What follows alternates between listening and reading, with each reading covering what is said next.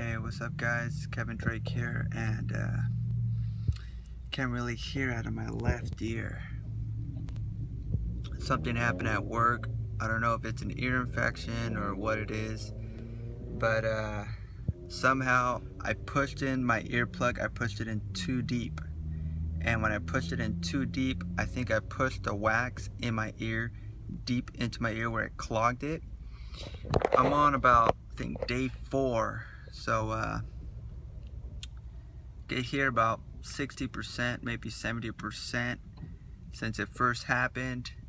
I feel today it's gotten a little bit better. I hear a ringing noise in my ears sometimes. But uh, I think it's getting better. I think I'll be alright. I'm going to give it a couple more days. First thing I did was I tried alcohol. Uh, just wiping it in my ear. Second thing I did was putting medicine.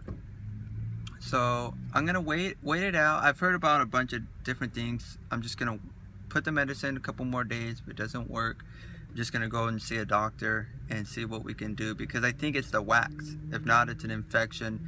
I'm pretty positive I didn't puncture anything when I. It's a foam uh, earplug that you put in for loud noise because I work with heavy machinery stuff. So let me know what you guys think uh, I accept any prayers.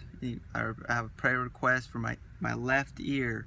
So I hope it gets better, guys. I know it will. If it doesn't, oh well. I still got my right ear, you know. I can't take this this body with me where I'm going after this life anyways. But I do want to take good care of it. The best that I, I possibly can. So not I'm not worried about it. I was worried at first. I'm not worried anymore. I've learned to deal with this uh, thing. It literally feels like I still have an earplug stuck in there. Okay, so it's just, nothing stuck in there. Just my ear. I can't hear out of it well. Let me know if you have, if you know anyone or you yourself had gone through a pain like this. I'm going to end the video right there. I'll keep posting and God bless you guys.